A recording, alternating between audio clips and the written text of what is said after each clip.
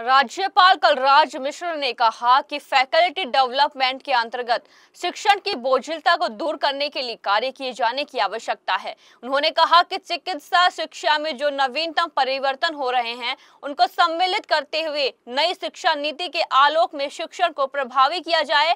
मिश्र शनिवार को महात्मा गांधी चिकित्सा विज्ञान एवं टेक्नोलॉजी विश्वविद्यालय में national board of examination in medical science द्वारा आयोजित फैकल्टी डेवलपमेंट प्रोग्राम प्रोग्राम में संबोधित कर रहे थे। उन्होंने कहा कि संकाय विकास कार्यक्रम का उद्देश्य शिक्षकों को पढ़ाना नहीं, उन्हें समय संदर्भों से जोड़ते हुए शिक्षण का रुचिकर बनाना होना चाहिए। उन्होंने कहा कि सीखना और सिखाना सतत प्रक्रिया है। ऐसे कार्यक्रमों के ज़रिए यह प्रयास किया जाए कि शिक्षण विद्यार्थियों को भविष्य की चुनौतियों के लिए तैयार कर सके।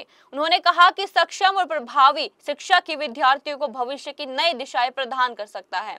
मिश्र ने कहा कि चिकित्सा शिक्षा में आर्टिफिशियल इंटेलिजेंस और अन्य तकनीक का समावेश करते हुए चिकित्सा प्रशासन शोधकर्ता की भूमिका आदि से जुड़े कौशल विकसित करने की ओर भी ध्यान दिया जाए।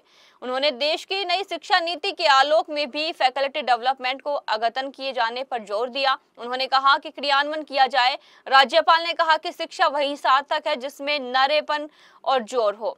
शैक्षिक नवाचारों को जितना अधिक हम अपनाएँगे, उतना ही हर क्षेत्र में आगे बढ़ने के रास्ते खुलते चले जाएँगे।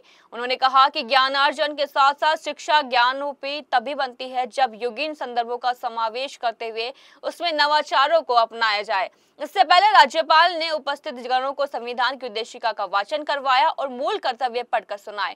उन्होंने दीप प्रज्वलित कर संकाय विकास कार्यक्रम का शुभारंभ किया। इससे पहले national board of examination in medical science के अध्यक्ष डॉक्टर अभिजीत सेठ ने इस कार्यक्रम की उपादेयता के बारे में विस्तार से जानकारी दी।